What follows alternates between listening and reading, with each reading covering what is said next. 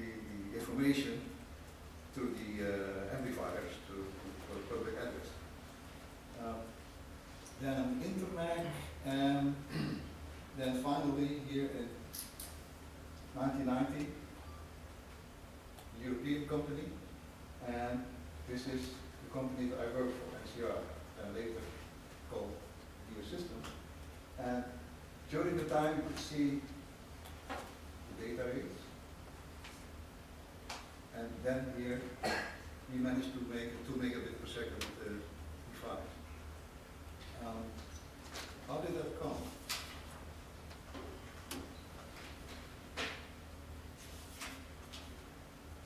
In the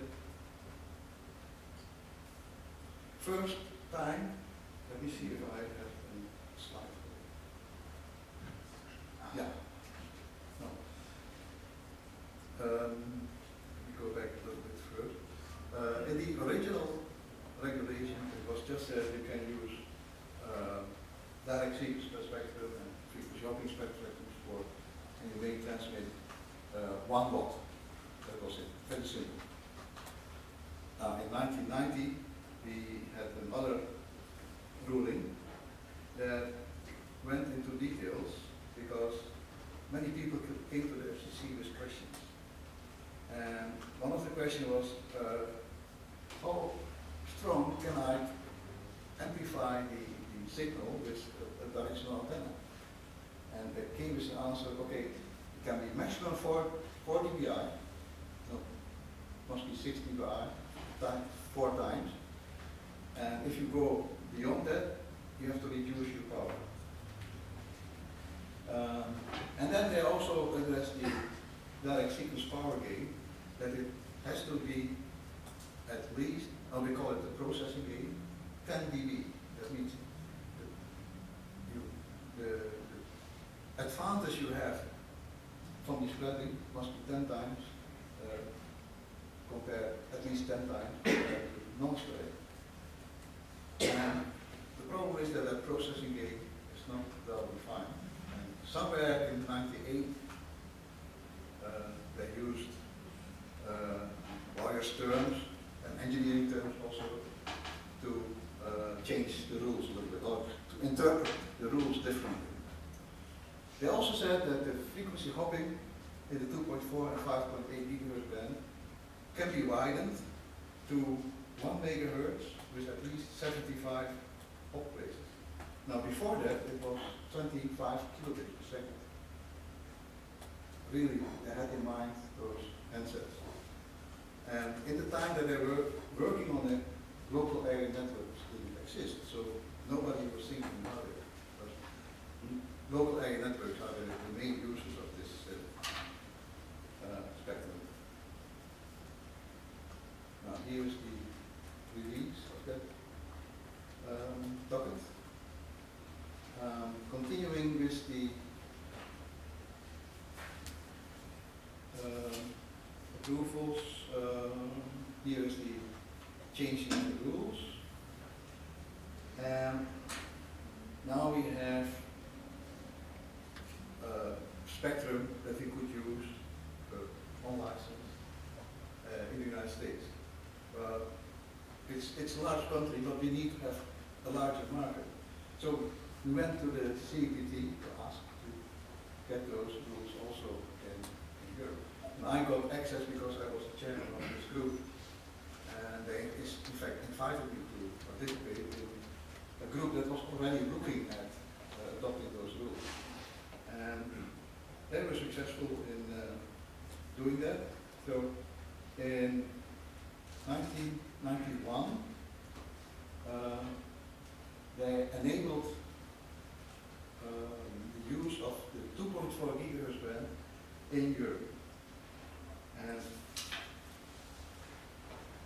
it did a little bit different in the regulation. They say you may use it on non-interference, non-protected basis, just like in the United States, for wideband data transmission system using spread spectrum technology with a minimum aggregate bit rate of 250 bits per second. Then they said the total power may only be 100 milliwatts. That was the maximum we could use in Europe. And for systems using, direct sequence spread spectrum, the peak ERP uh, shall not exceed um, 20 dB, minus 20 dB. Yeah, the minus, ah, sorry. Uh, the minus is there. So that comes down to 100 milliwatt. And, no, no, no. 10, 10 milliwatt per megahertz. So uh, instead of saying you have to have this processing gain of 10 times, it's just said the, the density may not be larger than 10 milliwatt. And uh, the 100 milliwatts is the maximum that you can use uh, uh, over your whole signal. And for uh, frequency hopping, they said the ERP shall not exceed 100 milliwatt, measured in a 100 kilo hertz bandwidth.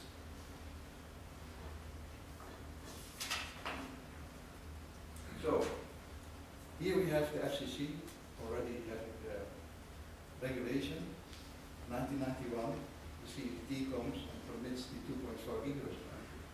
Now, they were not stopping there. The regulator said, well, sooner or later, we'll come back for more spectrum. So why don't we just go ahead and see where we have more spectrum for you? So that they went through the spectrum, and the first spectrum they found was at 5 gigahertz and 150 megahertz. And that they put down.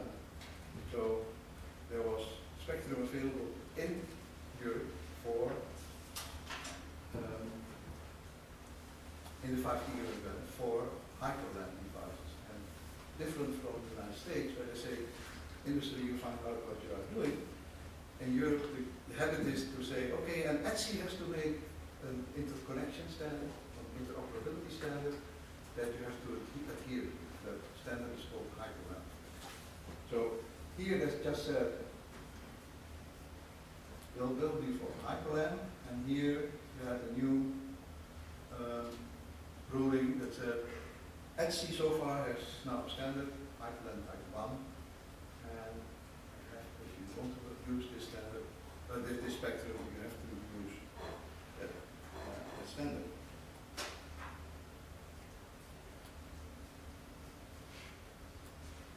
Now, um, we went ahead, let me put that away first. Um, the standard was approved here in ninety-seven. Two point four gigahertz band, two megabits per second maximum. And what you see is, first, the nine hundred fifty megahertz band is used, and later, because of the higher cost at that time, they start to work on the 2.4 gigahertz band, and you see here, close to the approval, that it takes up. And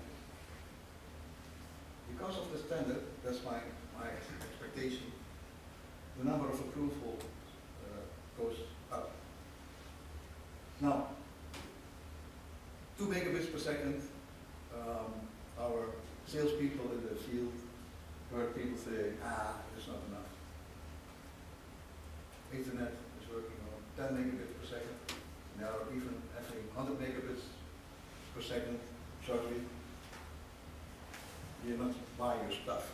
So the first level of priority was making a higher data rate.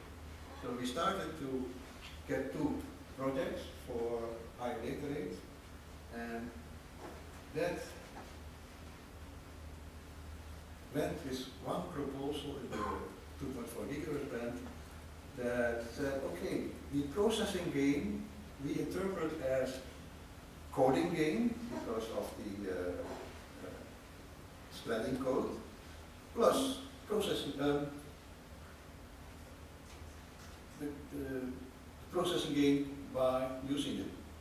And um, in fact, they only sent eight chips up rather than the 11 bits, uh, the 11 chips that would keep it within the uh, original 10 times uh, processing gain.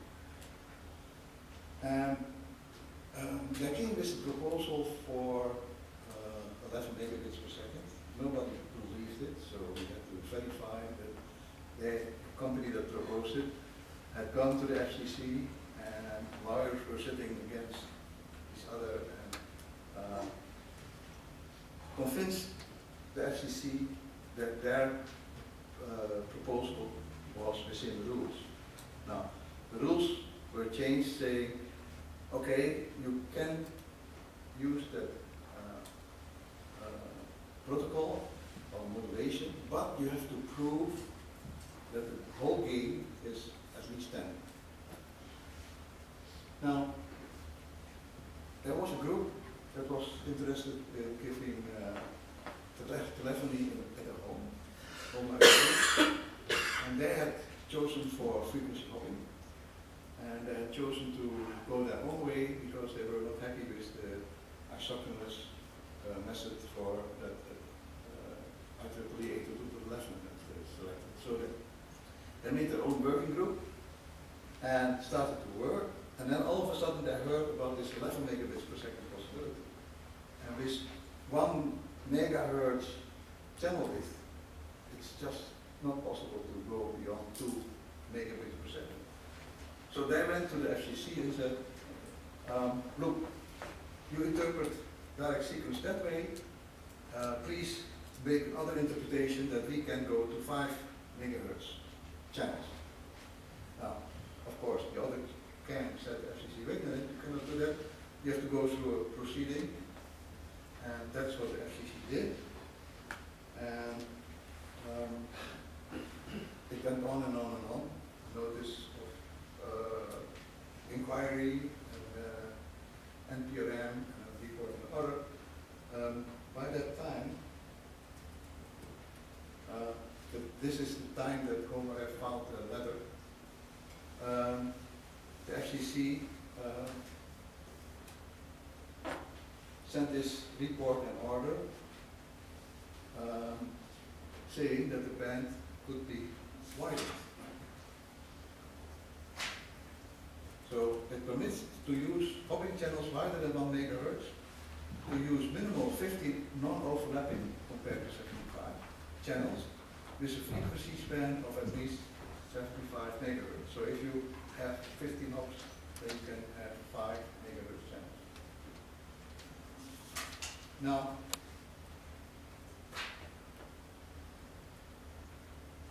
that was too late for HomeRF. Because by that time that they had the product, 802.11 had managed to uh, get their 11 megabits per second devices on the market. Um, our company, by that time called Lucent Technologies, had uh, teamed with Apple for making the Apple Airport.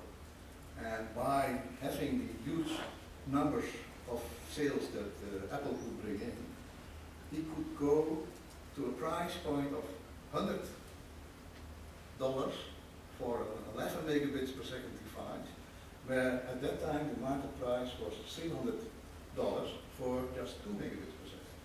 So this was the moment that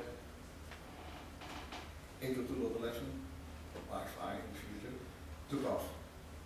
Crossing the chasm, as Moore said. So, uh, HomeRF files that letter, and the FCC permits light and hoppers, but it was too late for HomeRF, so they they dropped off.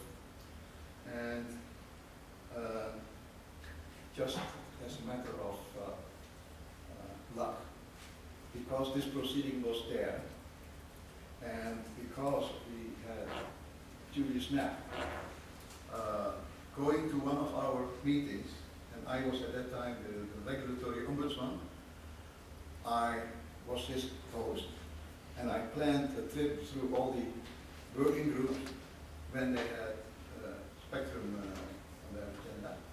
And he listened, and he was very impressed by the way we worked. By the way, he also was convinced about the usefulness of uh, 802.11 because uh, he had to give a presentation and he didn't want me to publish the, the documents too early. So uh, when we were at dinner just before he uh, had to give his presentation, just half, half an hour before, I said, okay, is it now time to publish? And he said, yes, do it. And he said, no, you can do it yourself. So I showed him the server where he had to put his presentation on. He did it. And when I introduced it, I showed the group, I think 200 people in the room, where that presentation was. And you could see him, you know, the, the quarter was, was a dime, I don't know what you call it, would fall. He saw at one second everybody was having his presentation on their screen. And out of the uh, things that he learned during the meetings, he went back and changed the regulation. What he heard was that because of the requirement of the 75 watts, uh, the Bluetooth and the hoppers were interfering with direct signals. And he said, okay, we don't want to have regulations that uh, requires you to interfere. So he went back and changed the rules. We were also trying to find the good technology for um, the 2.4 gigahertz for even higher data rates. And one of the proposals was OFDM, like in the 5 gigahertz band. But that would not fit in the rules at that time. So he went back and he changed the rules in a other proceeding, and that is the uh, in 2002, where the FCC permits intelligent hoppers and so-called digital transmission systems. Here is the procedure, and what it says is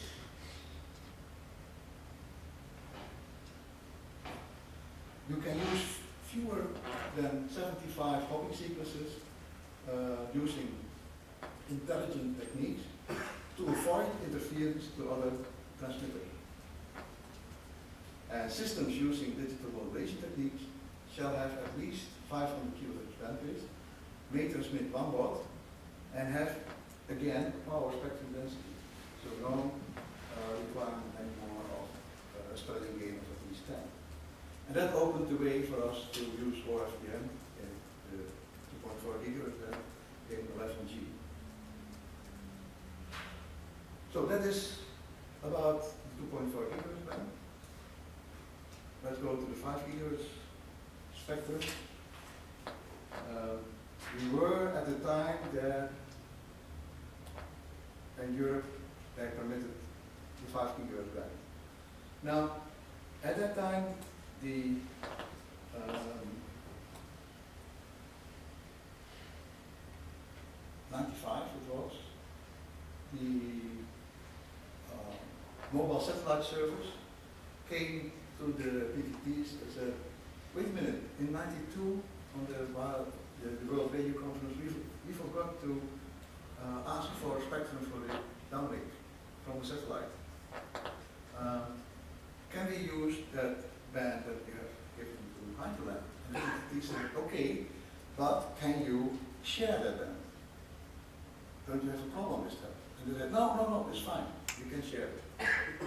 okay, then they, the PTTs didn't object. They got that band, but at the primary platform. And as soon as they had it, they came back to the PTTs and said, wait a minute, if there are very many HIPERLANs devices in a small area close to the uh, antenna, then you have problems. So the